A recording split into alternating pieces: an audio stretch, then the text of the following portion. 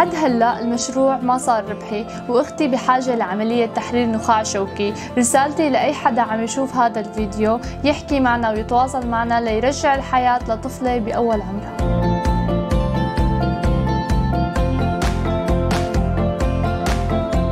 مرحبا واضح كيفكن؟ أنا حكمة جبولي مهندسة طبية ومخترعة سورية.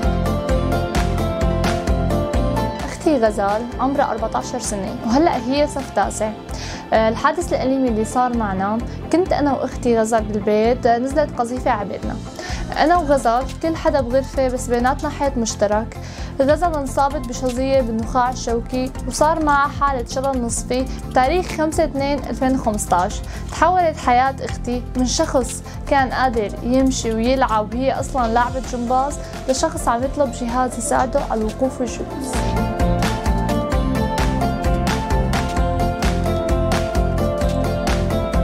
جتني آه، فترات إنه آه، إنه خلص يعني ايأس هي كانت تعطيني القوة حتى كمل أه وبعدين قالت لي إنه هلأ أنت سنة صرت يعني أنا تقريبا عندي مشروع تخرج سنة رابعة. فأنا سألتها إنه شو أعمل؟ فقالت لي أنت ليه ما بتعملي جهاز بفيد كل المرضى؟ هو جهاز طبي بيساعد مريض الشلل على الوقوف الجلوس وهو بإرادته بدون ما يطلب مساعدة من حدا. من هون بلشت الفكرة. أنا عملت نموذج ميكانيكي أه وأخذت رأي غزل لأنه هي أكثر حدا ممكن يعني يعطيني بالضبط إنه هيك صح هيك عم يضايقني هيك لا إنه هي يعني نصائحها من جهة مريض. آه، طبعا أخذت آه، معلومات من دكاترتي اللي ساعدوني من آه، من الأمور النظرية وفي كثير ناس فنيين ساعدوني من الأمور العملية. طورت هذا الجهاز لأصبح جهاز إلكتروني بيتم التحكم فيه عن طريق ال remote control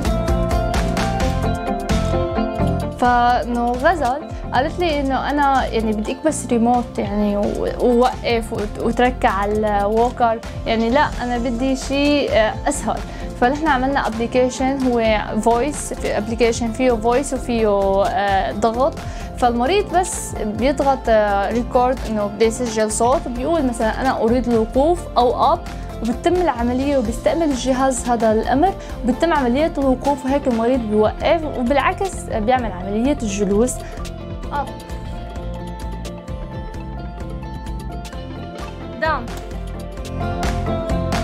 صرنا نفكر إنه نحن ليش ما بنعمل جهاز بمشي المريض؟ مو بس بخليه يوقف ويقعد ومن هون وصلنا لبدلة ذكية بيلبسها المريض بيقدر يمشي فيها يبدل بين وضعيات وضعية المشي وضعية الوقوف والجلوس وضعية إنه الحركة السريعة يعني. آه.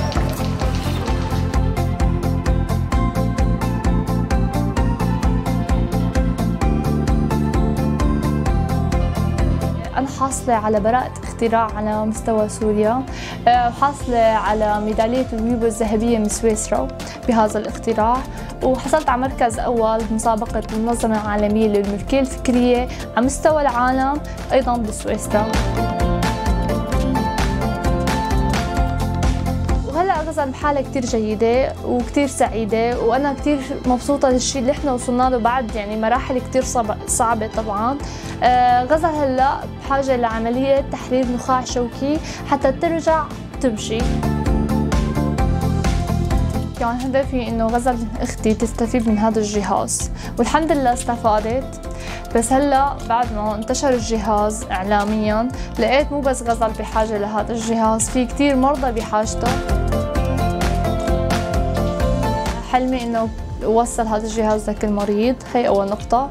آه، ثاني نقطة إنه ابحث عن المشاكل الموجودة بالحياة ولاقي لهم حلول وضل يعني الاختراع مستمر.